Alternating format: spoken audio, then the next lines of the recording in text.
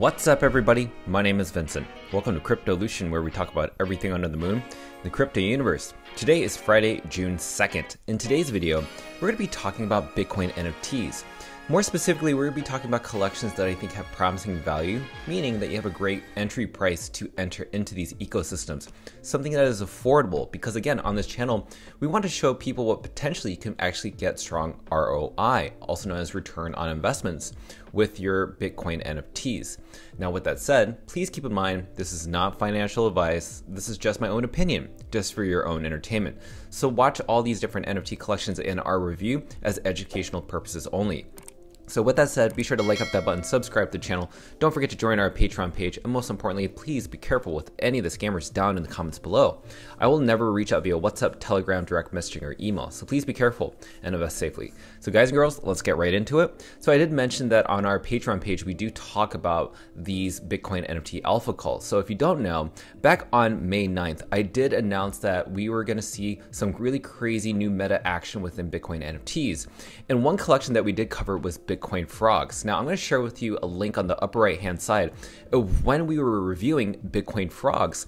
Bitcoin frogs at that time was trading around 0.0001. That's roughly around $50 to around $70 per NFT. That is crazy. Now, guess what the floor price of that NFT is? That price is now 0.07 Bitcoin. So that went from $70 to near almost 1,900 to $2,000 per NFT. So this is crazy. And also, we saw that the total trading volume within the Bitcoin frogs was roughly around the 60 to 70 Bitcoin level. Now it's at 362 Bitcoin level in total trading volume. That's multi millions of dollars. That's crazy.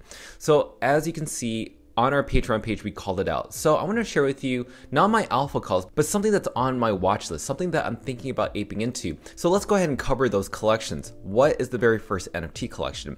Well, that is called Nakamoto Whales. Now, Nakamoto Whales was able to inscribe on the Bitcoin blockchain at a very cheaper price because now everybody's inscribing, also creating, you know, Bitcoin NFTs or BRC20 tokens within Bitcoin. So that's done is that it's kind of limited the amount of space for people to really inscribe anything on the Bitcoin blockchain's layer 2 solution.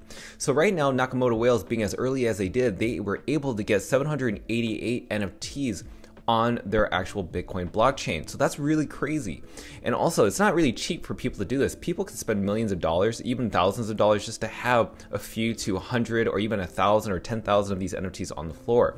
So right now, we're seeing that the price is around 0.06. But the thing is, I think that this price, even though it's a little bit higher in terms of its cost, roughly around 16 to $1,900 per NFT at the lowest price, even if it's that expensive, I definitely think that this actually has a staple on the Bitcoin blockchain, meaning that it really is one of the leaders that started this whole trend. Now, it may not be the first NFT to start this trend, but it's definitely one of the first NFTs on this new era of Bitcoin's NFT ecosystem trend.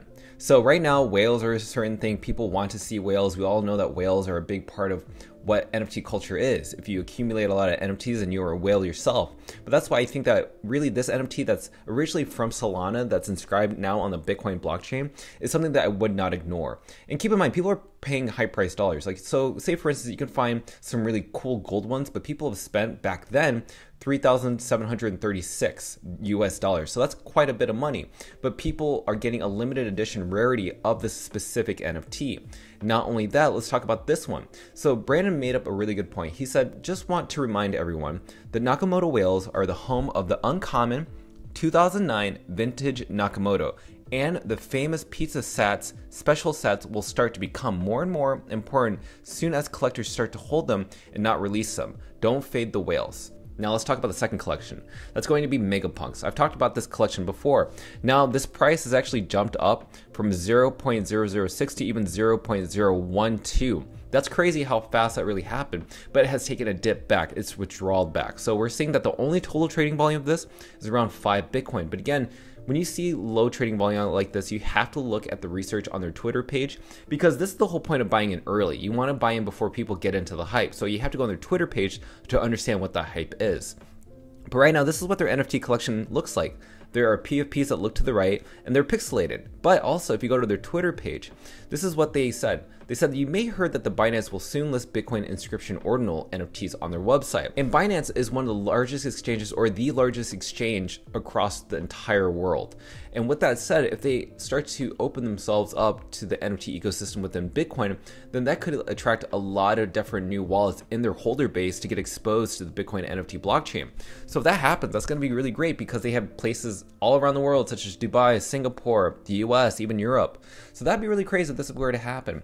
But also, if you actually go to their Megapunk page, they have some really great memes and artwork that definitely replicates their style, their their mission, and also the look, the tone, the feel. So that's something I really dig about their actual Twitter page that they actually are active in retweeting people who actually buy into these NFTs. So keep that in mind. That's my second NFT collection. Let's talk about the third one. The third one is called Bitcoin Bear Cubs. Now, this is fairly new in my point of view, meaning like I've just recently found out about this it says that there's around 39 Bitcoin total trading volume. So that's pretty good in my opinion.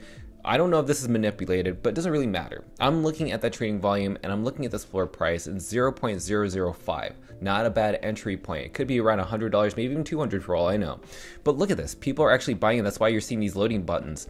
So when you see these loading buttons, that means that people have already bought these NFTs and it just kind of takes over 24 hours for that transaction to just go through. It does not mean that, you know, this is pending and it'll, you know, you could possibly lose your NFT transaction or purchase. It doesn't. It basically just says that it's just taken forever for it to actually be registered on the Bitcoin blockchain's layer two. As you can see, it's not even available. So that just goes to show you how this actually works. So this is a collection that I'm keeping my eye out on.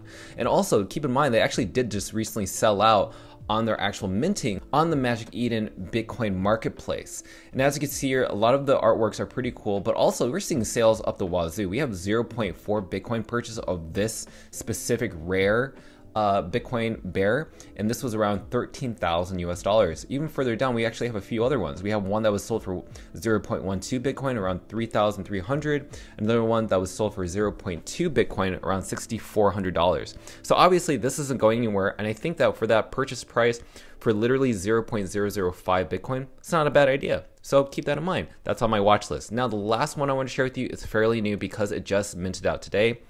This is called Ordz Hero. Now, this is a new collection. This is just happening. They just had their minting phase. 0.006 in terms of Bitcoin price and a total trading volume of around 3 Bitcoin. Now, this is what the NFTs do look like, and as I said before, it definitely did just mint out. So if you see this on the market floor, do your own due diligence. Again, there's only 777 of these on the actual floor that are listed, and if you want to buy any of the rare ones, maybe that's a good time to actually look out for that, right? So keep that in mind. Now you've seen my favorite Bitcoin NFTs I'm seeing right now on the charts. Now, I'm not going to let anybody know what I'm actually buying into. I'm only going to let my Patreon members know on the link below. So check that out in the descriptions if you haven't joined our Patreon page just yet, because I cannot wait to connect with everybody and share with you what I have bought. And with that said, be sure to like that button, subscribe to the channel. Don't forget to join our Patreon page to receive all of our alpha calls and buy and sell orders on both NFTs and cryptocurrencies, especially on Bitcoin. Until then, see you guys and girls next time.